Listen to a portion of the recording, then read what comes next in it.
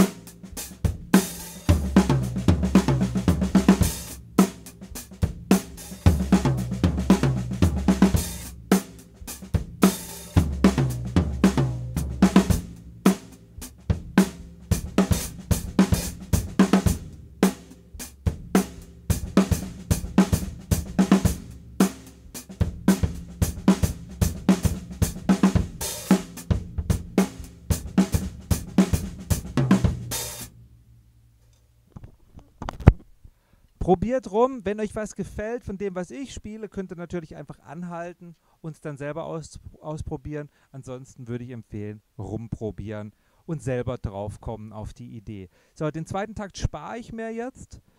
Da würde das gleiche Prinzip zählen.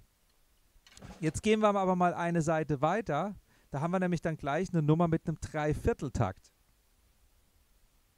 So, und die Idee ist jetzt aber nicht, dass wir in einen Dreiviertel Groove gehen, in einen Dreiviertel Feel, sondern wir beginnen das Fill-In quasi nicht auf die 1, weil wir haben keine vier Positionen zu spielen, sondern wir beginnen das Fill-In auf die 2. Ne? Das heißt, das, was wir da lesen, ist das Fill-In auf der 2 beginnend. Wir spielen also den Groove 1, 2, 3, 4 und 1 Taka taka three, four. One and two and three and four and one, two. Da geht's dann los. Könnt ihr euch denken, wenn wir im Zweivierteltakt sind, könnt ihr das auf drei dann beginnen. Hm? Also je nachdem, wie viel Platz ihr quasi zur Verfügung habt, rechnet ihr von hinten. Alles klar, wir hören mal den ersten Takt von SPS 2.